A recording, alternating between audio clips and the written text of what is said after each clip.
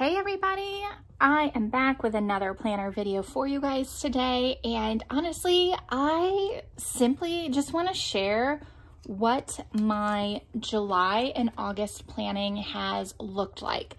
So go back and watch several videos about uh, my kind of my updated setup for the summer. I have different videos describing why I'm planning like this and when I'm going to switch back and things like that. So uh, if you need information on that, definitely check those out. Oops, I just realized I have this little bookmark dart. I need to move that.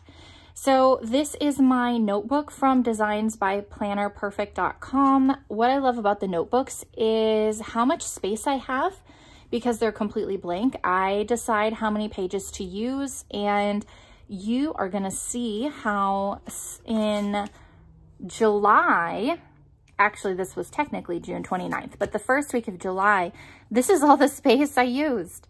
I just wrote a label for the day. I wrote as many notes tasks, anything as I needed. And if I had space, I just picked up where I left off. So some days I used it for much more.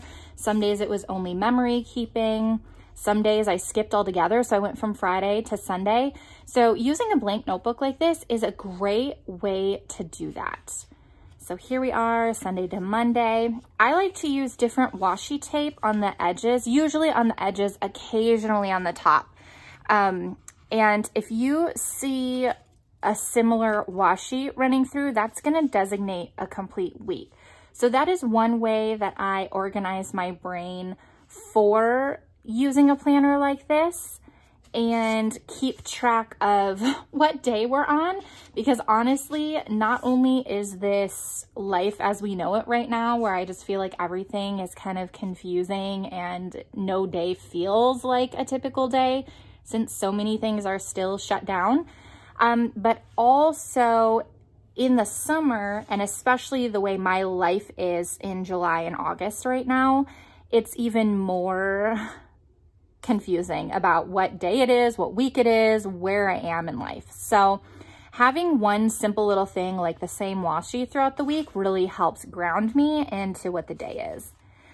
So I really love, um, I kind of make my lists as I go or as I need them. I am a huge back planner. Um, what that looks like for me is I maybe will have a very productive day, but it won't be until that evening or the next day that I'll actually go back in and write down all of the things that I did. I just really like to do that. That's one of the ways that I journal that actually counts to me as a form of journaling. Um, but it also helps me feel even more productive and spurs me on to be motivated to do other things on other days as well.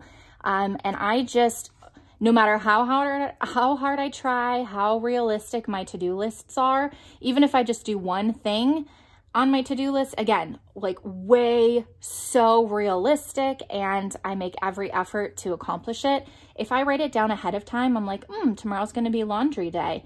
Uh, 10 things that you could never have expected get in the way of that and we never end up, I never end up doing laundry. So I am so much better about partway through a task, like if I've already got laundry started, writing it down and knowing I'll finish that load by the end of the day usually, or like I said, I record keep and I put it in at the end. And then the other thing I like to do is just fill up space with stickers, um, sticky notes, anything that I want. Um, a lot of times I really like to fill in space. So like this is pretty unusual. I must have been feeling really just like tired and unmotivated when this day was over to come back and fill it in. Uh, maybe I didn't have the washi with me or nearby or my stickers and I was just like, whatever, and I went on. One thing I've really been putting back in here um, that I have needed so much are my menus. So that way I know what meals I have on hand during the week. So I have done entire videos on my style of menu planning, how I do plan out by the day, but I also, if I'm feeling like on Monday I want tacos, we're gonna have tacos. It doesn't really matter. There's a few exceptions to that, um, so definitely check out my two videos, one where I describe my dinners and one where I describe my breakfasts, breakfasts and lunches. Wow, that was hard. so here is another week. This was a fun one. I used a lot of color. I definitely only like this type of color scheme in the summer. I don't know why. I'm very seasonal, I guess, when it comes to color. So just fun, Thursday, Friday.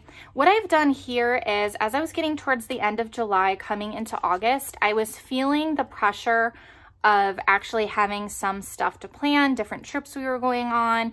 We've been doing flooring projects. We've had family in town. And I really wanted to be able to make sure the, the few things I need to plan for, for times like that, like what meals we're having or what to pack, that I was thinking about them on the correct days. So I did go ahead and start pre-washing and doing one day per page.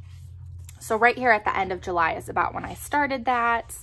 And you can see another week, another menu. Um, this was interesting. We had no schedule this week. Well, I, I basically made a week on one page. So even though this looks like a menu planner, this is what we did on that day.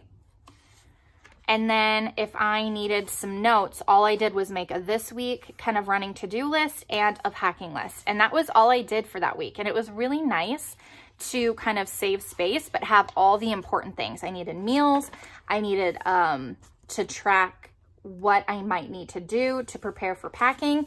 And then on each day, like who was coming in, um, who was leaving. We went and had a picnic at the park um, had some people over, my in-laws over for dinner, that kind of thing.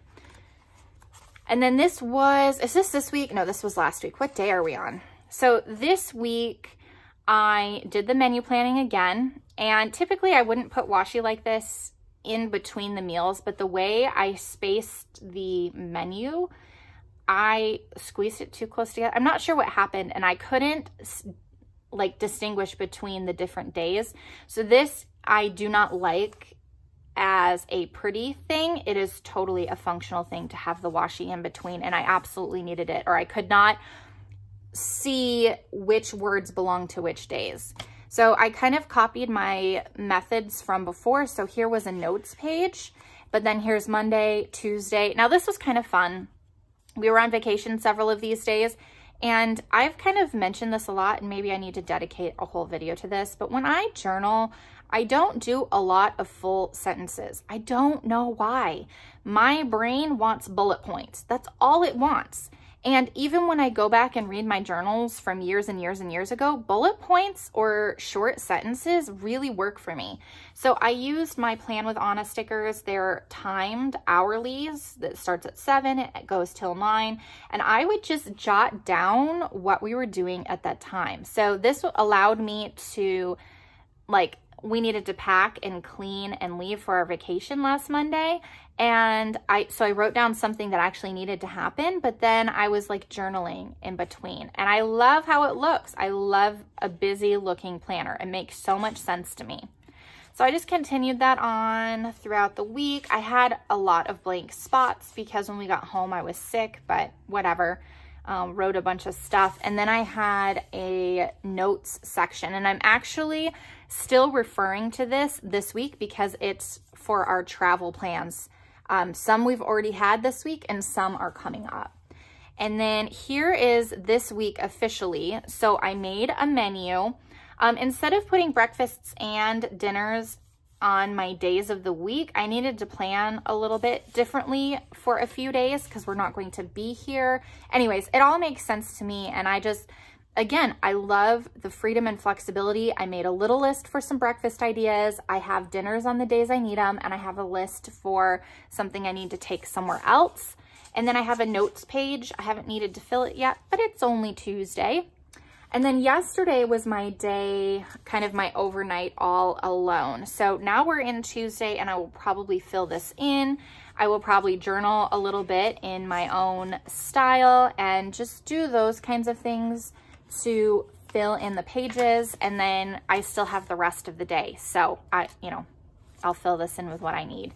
And then as the week goes on, I have not really filled in anything else, although I do need to because we have plans and I do need to make a few lists and I'm I might need to make another packing list here. I like to make packing lists to help me remember what to bring back as well. Because sometimes when you go on a trip, you, like I'll have to remember to bring snacks, but I don't have to bring snacks back. But sometimes there are things I get if we go shopping or souvenirs or I don't know. And so it's just a way for me to check. Um, or like this, I usually don't need to write down to bring my phone charger as a packing list to go somewhere, but it's real easy to forget my phone charger wherever we are. So I actually use that, usually write that on my like returning list. So just little things like that.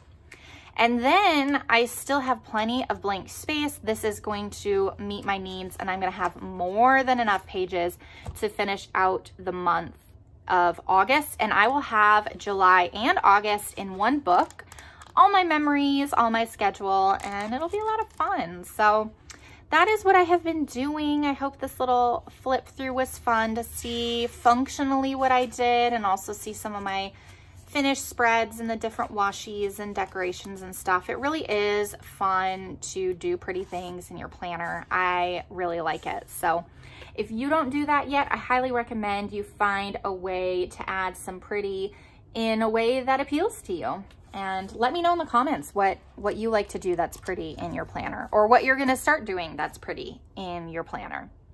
Okay guys, that's it for now. I will see you in my next video. Bye.